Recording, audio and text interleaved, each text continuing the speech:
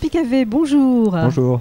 Alors vous êtes euh, le président, le, on a dit le gérant donc de Oslandia. Tout Alors dites-nous tout, Oslandia. Vous Alors, faites, euh, Oslandia, juste avant de nous dire, excusez-moi, les missions et l'activité d'Oslandia, vous faites partie du groupe GTLL. Alors tout à fait. Donc on fait partie du groupe thématique logiciel libre de systématique, dans le cadre duquel on est présent sur le poste aujourd'hui, euh, qui nous sert à faire de la mise en réseau, euh, qui nous fait rencontrer des partenaires, euh, et également avec lequel on a de l'accompagnement pour des projets de R&D. D'accord. Alors, on revient à votre société, Oslandia. Vous faites quoi exactement? Vous êtes dans les systèmes d'information géographique. Concrètement, cela veut dire quoi? Alors système d'information géographique open source d'ailleurs, puisqu'on est sur un salon open source. Absolument. Et on va donc euh, développer des logiciels, des solutions qui vont permettre de traiter de la donnée qu'on peut rattacher au territoire, donc ce qu'on appelle la donnée spatiale. Et on va pouvoir non seulement bah, la capter, l'analyser, la visualiser sur de la cartographie ou dans des applications en ligne. Alors justement, en termes d'application, vous vous adressez à qui euh, Alors les systèmes d'information géographique c'est très transversal, donc euh, puisque bah, le territoire c'est ce qui nous entoure.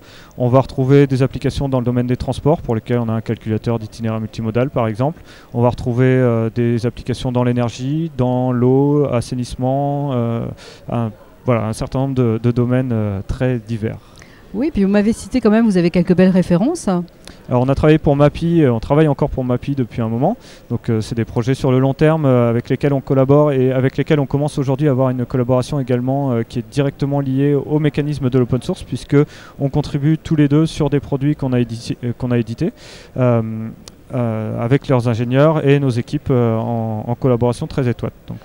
Et pour terminer, vous m'avez dit, il y a une annonce quand même qui est importante. je Alors aujourd'hui, euh, on a un communiqué qui est qu'on a, on a une collaboration qui commence avec l'IGN, donc euh, l'Institut géographique national et forestier, Bravo. euh, pour euh, développer les solutions open source de visualisation 3D. Donc euh, c'est des solutions immersives qui vont permettre de visualiser dans un navigateur web, donc euh, avec les technologies WebGL euh, euh, sans plugin, euh, toutes les données qu'on va pouvoir rattacher à ce territoire en 3D et donc naviguer à l'intérieur.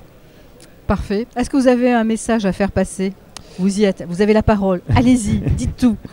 Donc euh, bah, venez nous voir si vous avez des, euh, des besoins en information géographique. Et puis bah, je tenais quand même à remercier euh, les organisateurs du salon de nous avoir fait venir. Et merci à vous. Voilà, merci, à vous. Merci. Au revoir.